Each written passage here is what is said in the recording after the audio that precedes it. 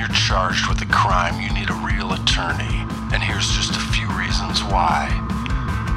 The police, the courts, the labs, the drug tests, probation, the judges, the jails, the prisons, and the entire system is just one big machine.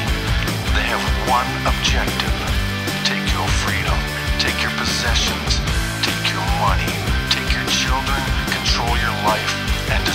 your future. You only get one chance to hire the right attorney. One that will stay in your corner. One that will fight for your rights.